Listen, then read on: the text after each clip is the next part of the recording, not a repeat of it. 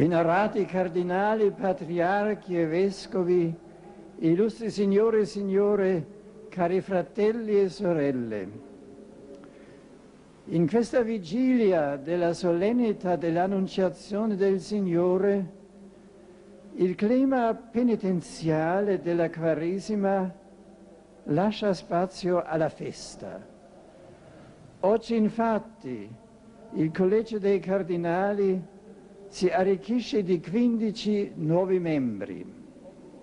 Anzitutto a voi, cari fratelli, che ho la gioia di creare i cardinali, rivolgo il mio saluto con viva cordialità, mentre ringrazio l'arcivescovo William Jos Joseph Leveda per i sentimenti e pensieri che a nome di tutti voi mi ha poc'anzi espresso. Sono lieto poi di salutare gli altri signori cardinali, i venerati patriarchi, i vescovi, i sacerdoti, i religiosi e le religiose e i numerosi fedeli, in modo particolare i familiari, qui convenuti per fare corona nella preghiera e nella gioia cristiana ai nuovi porporati. Con speciale riconoscenza accolgo le distinte autorità governative e civili che rappresentano diverse nazioni e istituzioni. Il concistoro ordinario pubblico è un avvenimento che manifesta con grande eloquenza la natura universale della Chiesa, diffusa in ogni angolo del mondo per annunciare a tutti la buona novella di Cristo Salvatore.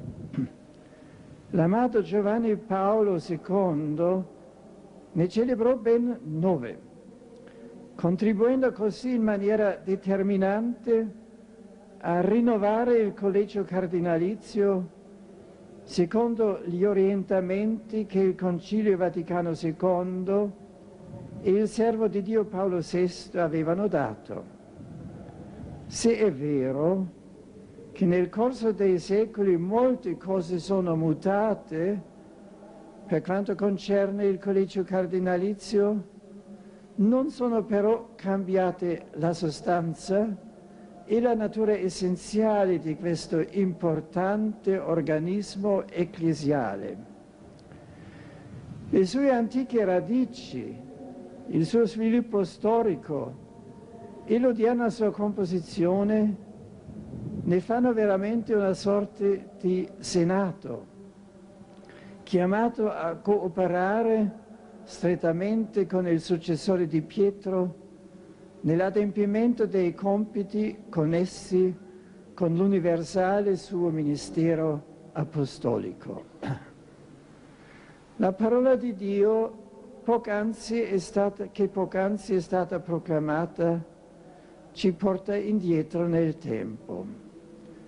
Con l'Evangelista Marco siamo risaliti all'origine stessa della Chiesa e in particolare all'origine del ministero petrino.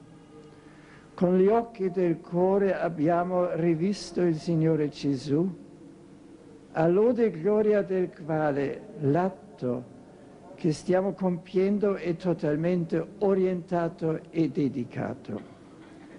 Egli ci ha detto parole che ci hanno richiamato alla mente la definizione del romano pontefice cara a San Gregorio Magno, servus servorum Dei. Infatti, Gesù, spiegando ai dodici apostoli che la loro autorità avrebbe dovuto essere esercitata in modo ben diverso da quello dei capi delle nazioni, riassume tale modalità nello stile del servizio. Dice Gesù, chi vuole essere grande tra voi si farà vostro servitore, diaconos in greco. E chi vuole essere il primo tra voi sarà il servo di tutti. Qui usa Gesù la parola più forte, doulos, panton, servo. La totale e generosa disponibilità nel servire gli altri è il segno distintivo di chi nella Chiesa è posto in autorità. Perché così è stato per il figlio dell'uomo, il quale non venne per essere servito, ma per servire e dare la propria vita in riscatto per molti. Pur essendo Dio anzi spinto proprio dalla sua divinità, egli assunse la forma di servo, morfen tulo, servi. Come mirabilmente si esprime l'inno a Cristo contenuto nella lettera ai Filippesi. Il primo servo di Dio e servo dei servi è dunque Gesù dietro di lui e uniti a lui, gli apostoli. E tra questi in modo speciale Pietro al quale il Signore ha affidato la responsabilità di guidare il suo gregge. Compito del Papa è di farsi per primo servitore di tutti. La testimonianza di tale atteggiamento emerge chiaramente dalla prima lettura di questa liturgia che ci ripropone un'esortazione di Pietro ai presbiteri, gli anziani della comunità.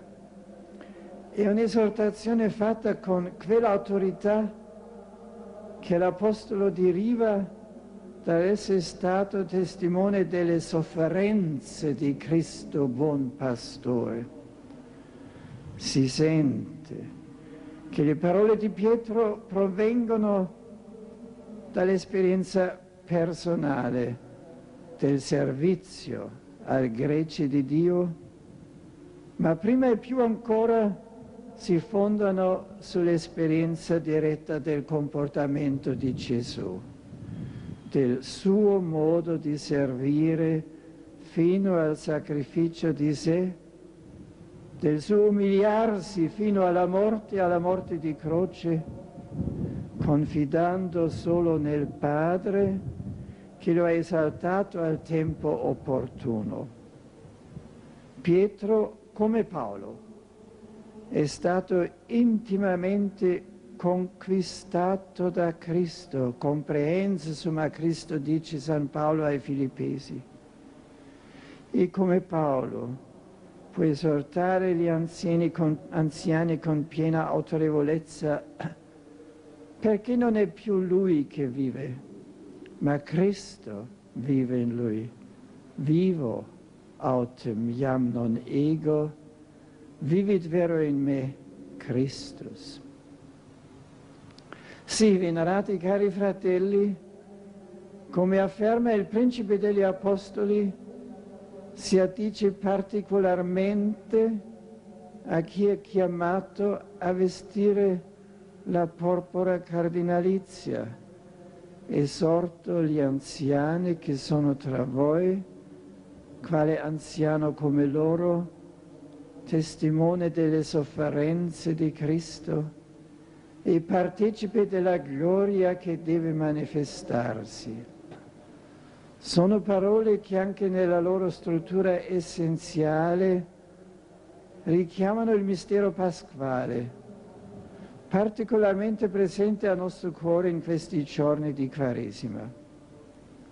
San Pietro le riferisce a se stesso, in quanto anziane come loro, sum presbiteros, lasciando con ciò intendere che l'anziano nella Chiesa, il presbitero, per l'esperienza accumulata negli anni per le prove affrontate e superate, deve essere particolarmente sintonizzato con l'intimo dinamismo del mistero pasquale.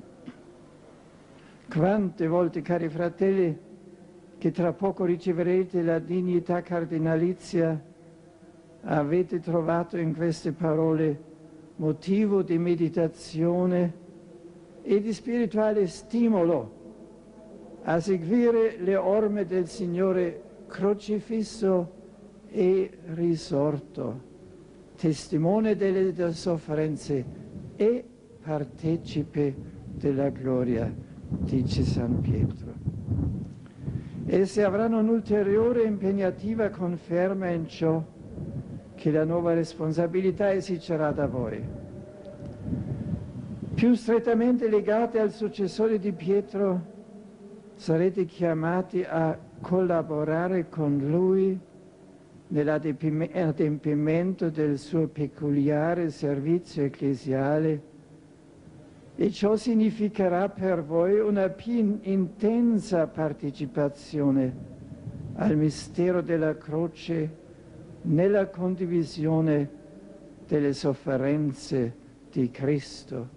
E noi tutti siamo realmente testimoni della sua sofferenza, delle sue sofferenze oggi nel mondo e anche nella Chiesa e proprio così anche partecipi della sua gloria. Questo mi consentirà di attingere più abbondantemente alle sorgenti della grazia e di fonti diffondere intorno a voi più efficacemente i frutti benefici. Venerati cari fratelli, vorrei riassumere il senso di questa nu vostra nuova chiamata nella parola che ho posto al centro della mia prima enciclica Caritas.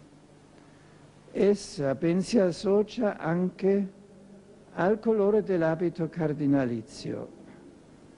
La porpora che indossate sia sempre espressione della Caritas Christi, stimolandovi ad un amore appassionato per Cristo, per la sua Chiesa e per l'umanità. Avete ora un ulteriore motivo per cercare di rivivere gli stessi sentimenti che spinsero il Figlio di Dio fatto uomo a versare il suo sangue in espiazione dei peccati dell'intera umanità. Conto su di voi, venerati fratelli. Conto sull'intero collegio di cui entrate a far parte per annunciare al mondo che Deus Caritas est e per farlo anzitutto mediante la testimonianza di sincera comunione tra i cristiani. Da questo, disse Gesù, tutti sapranno che siete miei discepoli se avrete amore gli uni per gli altri. Conto su di voi. Cari fratelli cardinali, per far sì che il principio della carità possa irradiarsi e riesca a vivificare la Chiesa in ogni grado della sua gerarchia, in ogni comunità e istituto religioso, in ogni iniziativa spirituale, apostolica e di animazione sociale. Conto su di voi affinché il comune sforzo di fissare lo sguardo sul cuore aperto di Cristo renda più sicuro e spedito il cammino verso la piena unità dei cristiani. Conto su di voi perché grazie all'attenta valorizzazione dei piccoli e dei poveri la Chiesa offre al mondo in modo incisivo l'annuncio e la sfida della civiltà, civiltà dell'amore. Tutto questo. Mi piace vedere simboleggiato nella porpora di cui siete insigniti, che essa sia veramente simbolo dell'ardente amore cristiano che traspare dalla vostra esistenza. Affido questo auspicio alle mani materne della Vergine di Nazareth, dalla quale il Figlio di Dio prese il sangue che ha versato sulla croce come testimonianza suprema della sua carità. Nel mistero dell'Annunciazione che ci apprestiamo a celebrare, ci viene rivelato che per opera dello Spirito Santo il Verbo divino si fece carne e venne ad abitare in mezzo a noi. Per intercessione di Maria, scenda abbondante sui nuovi cardinali e su tutti noi l'effusione dello Spirito di verità e di carità affinché sempre più pienamente conformi a Cristo possiamo dedicarci instancabilmente all'edificazione della Chiesa e alla diffusione del Vangelo nel mondo. Amen.